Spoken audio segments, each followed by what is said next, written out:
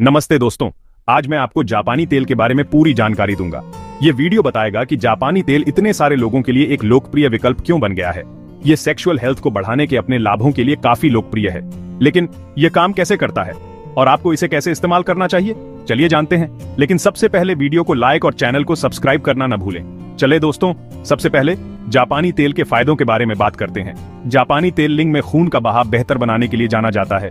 ये बहुत ज़रूरी है क्योंकि अच्छा ब्लड फ्लो आपके सेक्सुअल परफॉर्मेंस और स्टेमिना को बढ़ाता है। जापानी तेल को खास बनाने वाली चीज़ें हैं। इसमें इस्तेमाल की गई सामग्री।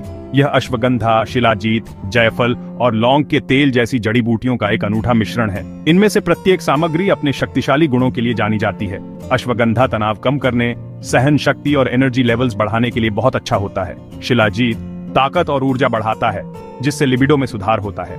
जायफल, रक्त संचार बढ़ाता है और मांसपेशियों को आराम देता है, जिससे सेक्सुअल स्टेमिना बढ़ती है। लौंग का तेल अपने गर्म करने वाले गुणों और आराम देने की क्षमता के लिए जाना जाता है। जब इन सबको मिलाया जाता है तो एक बहुत ही असरदार घरेलू नुस्खा बनता है, जिसके बहुत सारे फ़ायदे हैं। अब जानते हैं, जापानी तेल का इस्तेमाल कैसे करते हैं? शुरू करने से पहले उस जगह को अच्छी तरह से साफ़ कर लें जहाँ आप तेल लगाएँगे। आमतौर पर आपको तेल की कुछ बूंदें उस जगह पर लगानी होती हैं और धीरे धीरे 10 से 15 मिनट तक मालिश करनी होती है। सोने से पहले ऐसा करना सबसे अच्छा होता है ताकि तेल रात भर अपना जादू दिखा सके। नियमित रूप से इस्तेमाल करना ज़रूरी है। लगातार इस्तेमाल करने से आपको समय के साथ अच्छे नतीजे दिखाई देंगे। लेकिन हमेशा पहले पैच टेस्ट ज़रूर करें।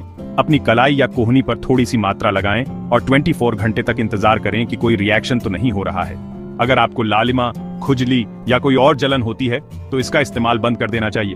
अब, कुछ संभावित साइड इफेक्ट्स के बारे में बात करते हैं। हालाँकि जापानी तेल प्राकृतिक चीज़ों से बनाया जाता है, फिर भी एलर्जिक रिएक्शन हो सकता है। इसलिए पैच टेस्ट बहुत ज़रूरी है। कुछ लोगों को हल्की जलन भी हो सकती है, अगर उनकी त्वचा सेंसिटिव है। अगर आपको कोई हेल्थ प्रॉब्लम्स हैं तो इस तेल का इस्तेमाल करने से पहले अपने डॉक्टर से सलाह ज़रूर लें। तो संक्षेप में, जापानी तेल एक बहुत ही असरदार घरेलू नुस्खा है जो आपकी सेक्सुअल हेल्थ और परफॉर्मेंस को बेहतर बना सकता है। अश्वगंधा, केसर और जायफल जैसी चीज़ों के साथ, इसमें कोई आश्चर्य की बात नहीं है कि इसका इस्तेमाल सदियों से होता आ रहा है। मुझे उम्मीद है कि आपको यह जानकारी हेल्पफुल लगी होगी। अगर आपके कोई सवाल हैं या आप अपने अनुभव साझा करना चाहते हैं तो नीचे कमेंट्स में लिखें। देखने के लिए धन्यवाद, अपना ध्यान रखें।